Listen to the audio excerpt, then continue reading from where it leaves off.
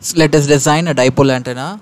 First you open CST Studio Stu- Suite, click on new template.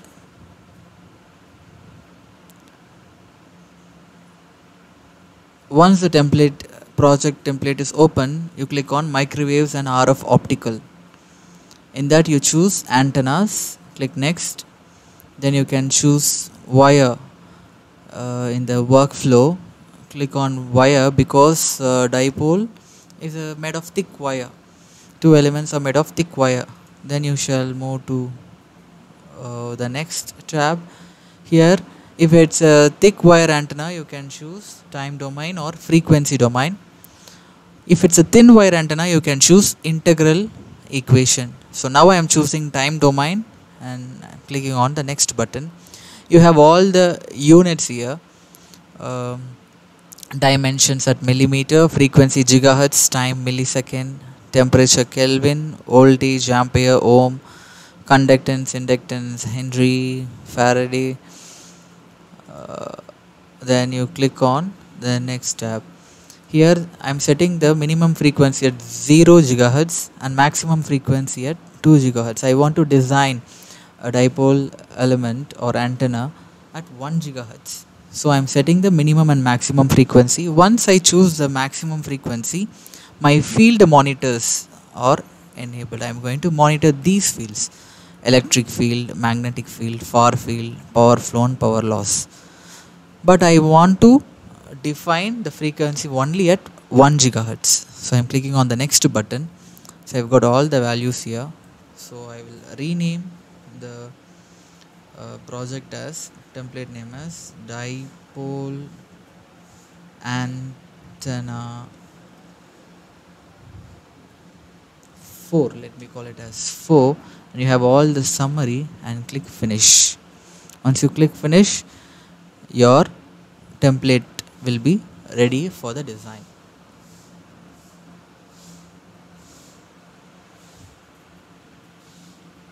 So your template is ready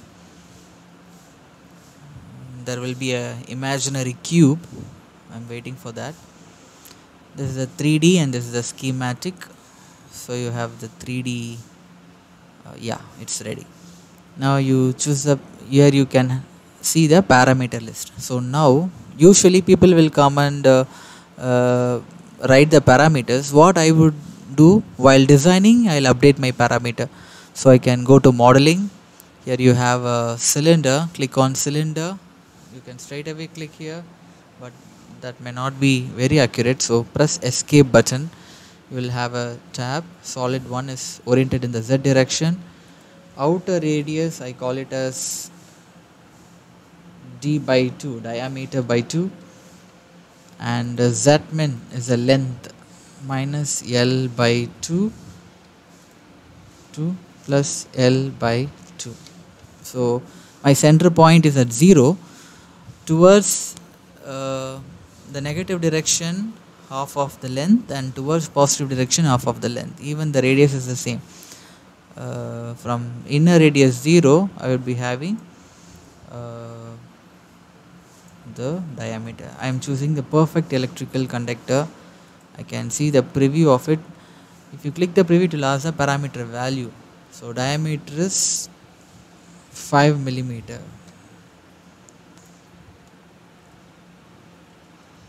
diameter of dipole. Then I have length. Value is 150 millimeter. Length of dipole. Click ok. Your component is ready now.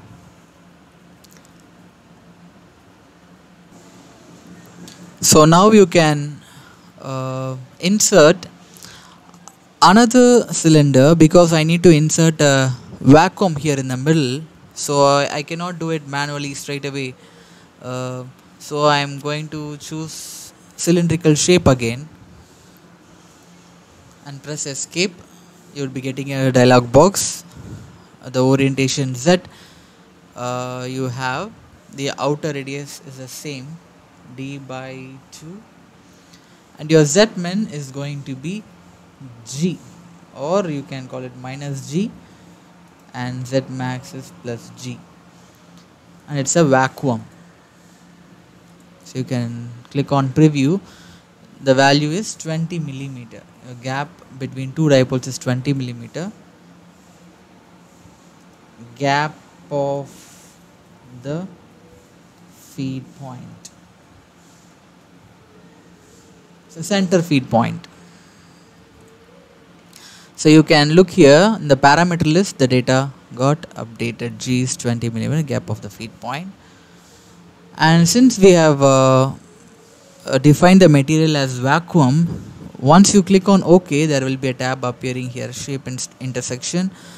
Uh, so I am going to cut away the highlighted shape.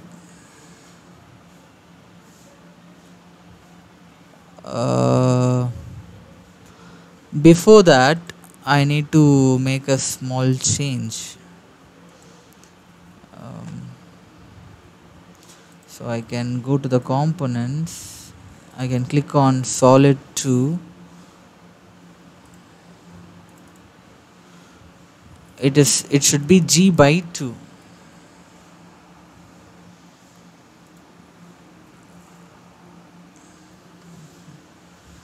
so now it's going to be a smaller one g by 2 to g by 2 click ok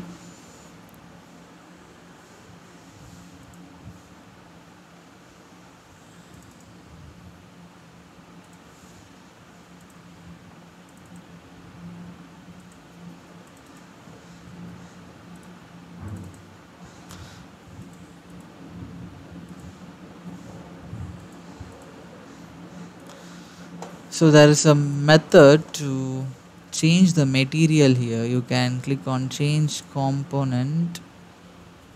Mm. change material and color. Material is vacuum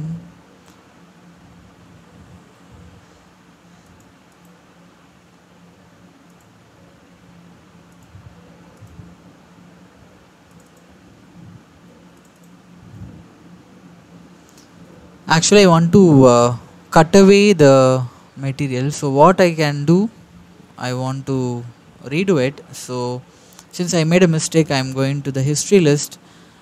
Uh, the fourth step is uh, defining the cylinder component solid 2 so I am going to delete it.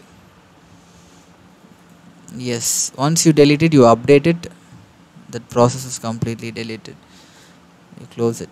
Now again you redefine the cylinder press escape solid 2 capital D by 2 is the diameter. Z minus is minus G by 2 to Z max G by 2 which is 20 millimeter. It's a vacuum. Uh, you click OK you will have a tab and I want to cut away the highlighted shape now you can see the shape got cut and you have an empty space here. Next is you have to uh, pick the edges. So click picks pick the edge of the first dipole double click it then change the direction click the pick edges pick edge and click the edge double click the edge next step is you have to define the port. You can either choose discrete port or waveguide port. I am going to choose discrete port. You will be getting a dialog box where you have to choose s parameter uh, the impedance is 73 it is not uh, 50 as far as dipole is concerned. So apply and okay but you have to define it here in the parameter list too.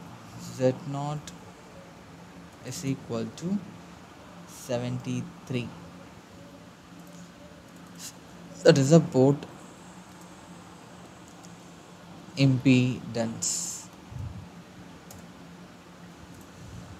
Once it is done you can go to uh, setup solver since the first time you're going to set up the solver source type you can either choose all ports or one port all port minus 40 dB accuracy apply it and start the operation. So it will save the model and it will calculate all the values. So the values are ca- calculated now. I'm going to check out 1d results s parameter. You can see the s parameter value is from minimum frequency 0 to maximum frequency 2 gigahertz and the dip is at mm, move axis marker to minimum 0.898 0.898 gigahertz. But uh, the frequency I wanted is at 1 gigahertz. I want I have defined it in the beginning 0.898 so I'm going to do a small modification I'm going to introduce a parameter called CTE 0.898 divided by 1 it's a ratio.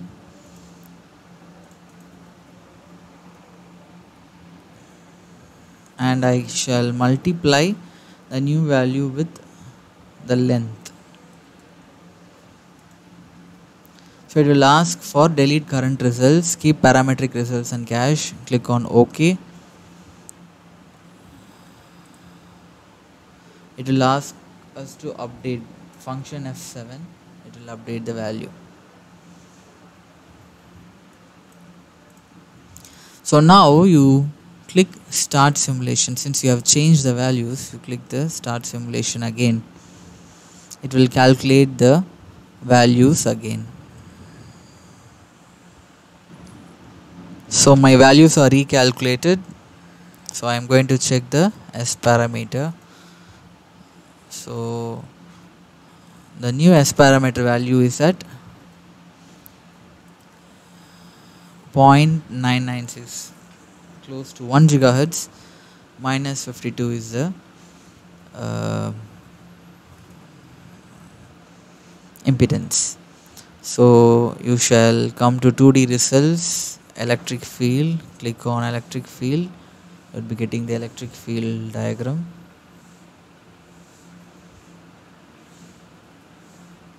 So now you click on cross section B contour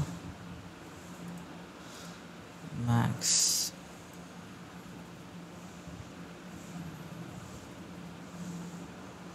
And you animate it and you can see how the dipole is radiating. So this is how your dipole radiates. This is the center feed point and the radiation moves from the center feed point. Like the wave once you put a droplet here the wave is going to move from left to right left to right. Okay. So press escape and stop animation. Now we shall see the 3d animation far field. Press far field and absolute value you will be getting the three dimensional radiation pattern of a dipole. So you can see the three dimensional pattern of a dipole in z axis. Now show structure. Make the far field transparent. You can look at the dipoles here and the radiation pattern extending from the end one end to the other you cannot animate the fields here. And you can look at the radiation pattern like a balloon